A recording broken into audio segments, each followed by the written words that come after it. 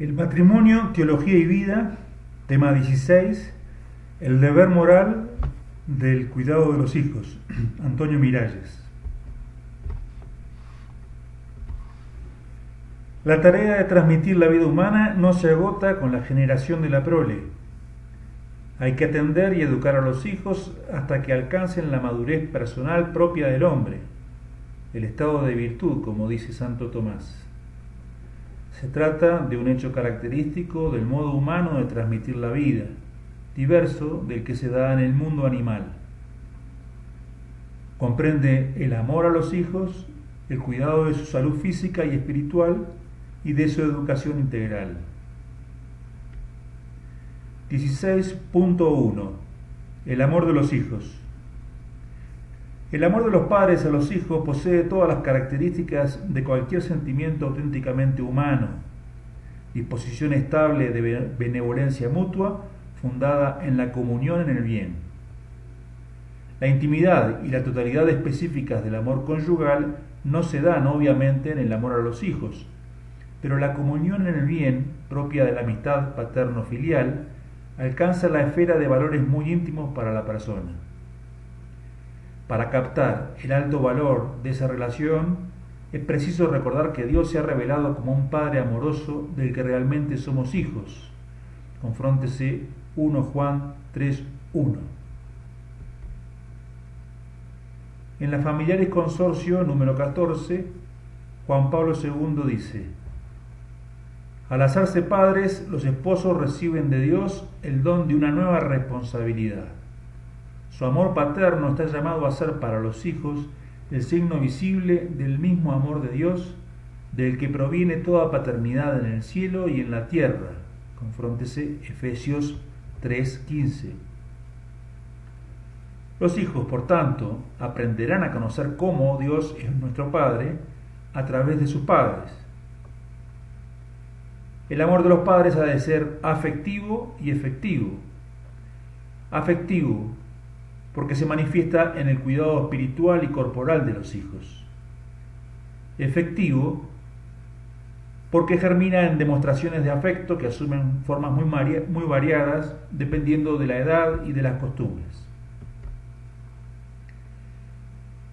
Faltas graves de amor hacia los hijos. A. El abandono y descuido completo de los hijos. B las injurias e imprecaciones frecuentemente quedan a nivel de mero insulto y no constituyen materia grave, sino corresponden a verdadera maldad. C. Los maltratamientos y castigos corporales desproporcionados. D. Las desigualdades de afecto indebidas hacia los diferentes hijos. En B, C y D puede haber, para de materia, siendo en ese caso faltas leves. 16.2 Cuidado de la salud y del desarrollo corporal de los hijos. Es un deber que admite, evidentemente, parvedad de materia, pero cuyo descuido puede constituir un pecado mortal por los graves daños que causaría a los hijos.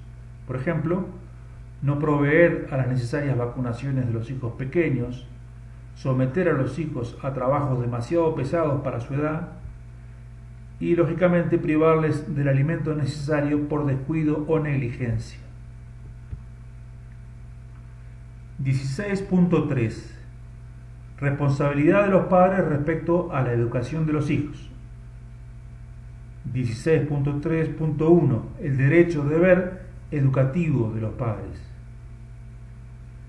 Puesto que los padres han dado la vida a los hijos, tienen la gravísima obligación de educar a la prole y por tanto hay que reconocerlos como los primeros y principales educadores de sus hijos.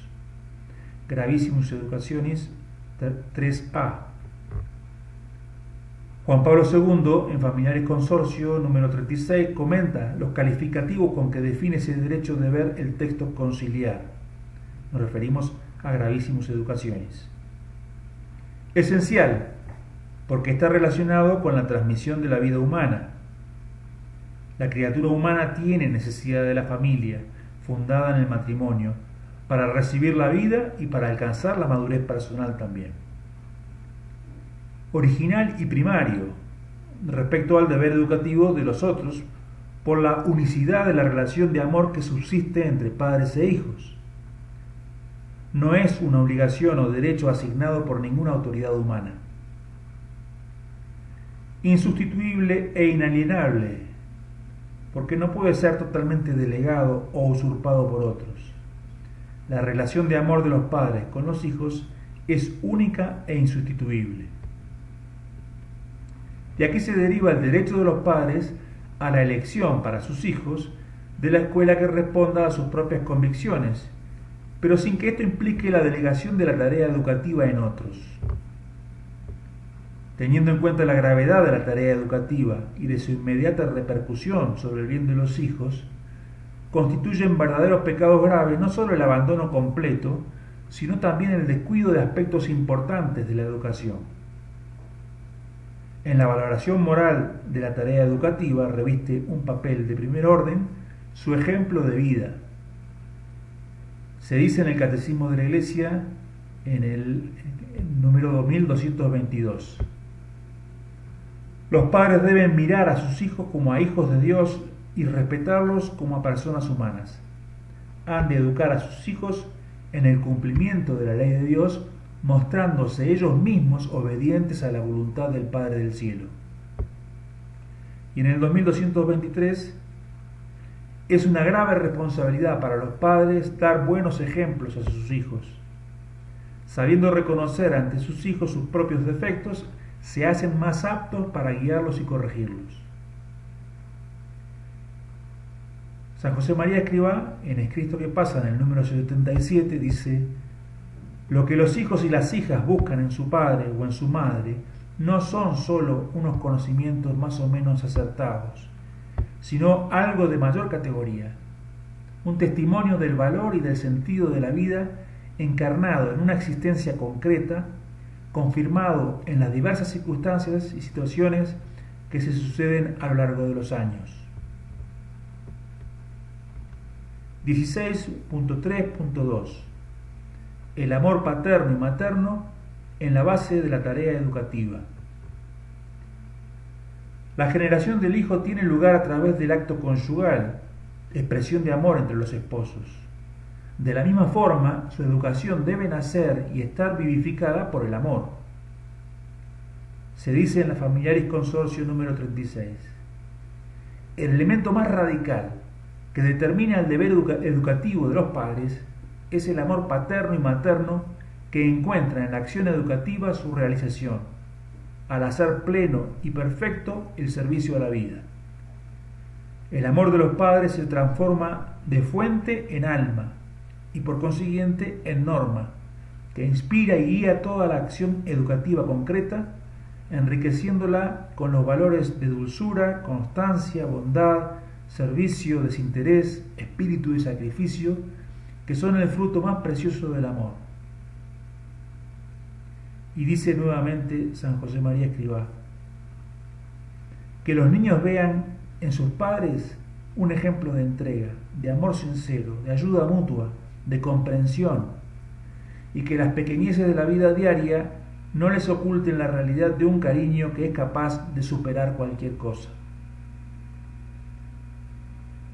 que el amor paterno y materno es la fuente, el alma y la norma de la tarea educativa, significa que debe estar orientada al bien del hijo y este bien debe dictar el justo equilibrio entre condescendencia y firmeza.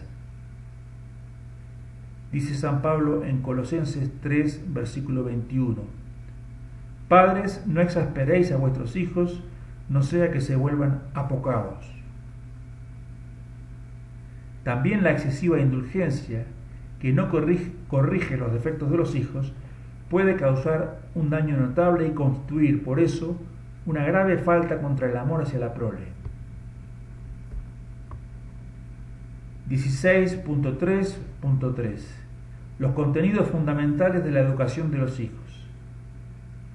Se dice en Gravísimos Educaciones 1a la verdadera educación se propone la formación de la persona humana en orden a su fin último y al bien de las sociedades, de las que el hombre es miembro y en cuyas responsabilidades participará cuando llegue a ser adulto.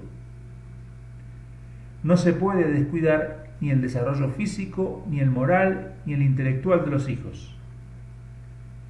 En la Lumen Gentium 11b se dice, en esta especie de iglesia doméstica, la familia, los padres deben ser para sus hijos los primeros predicadores de la fe mediante la palabra y el ejemplo.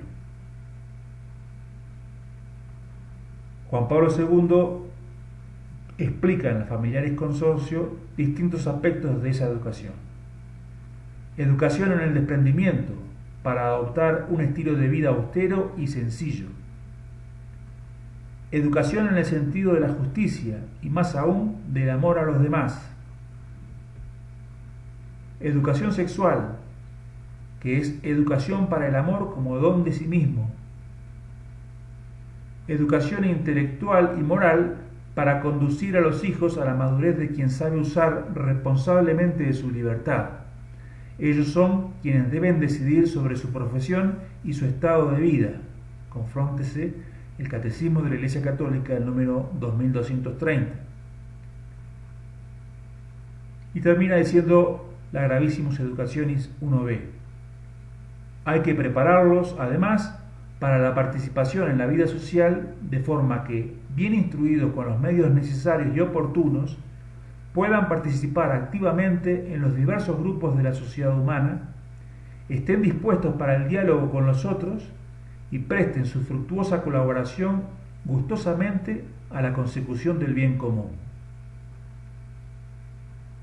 La Familiaris Consorcio número 37 dice, la familia es la primera y fundamental escuela de socialidad. Como comunidad de amor encuentra en el don de sí misma la ley que la rige y hace crecer. El don de sí, que inspira el amor mutuo de los esposos, se pone como modelo y norma del don de sí que debe haber en las relaciones entre hermanos y hermanas y entre las diversas generaciones que conviven en la familia la comunión y la participación vivida cotidianamente en la casa, en los momentos de alegría y de dificultad, representa la pedagogía más concreta y eficaz para la inserción activa, responsable y fecunda de los hijos en el horizonte más amplio de la sociedad.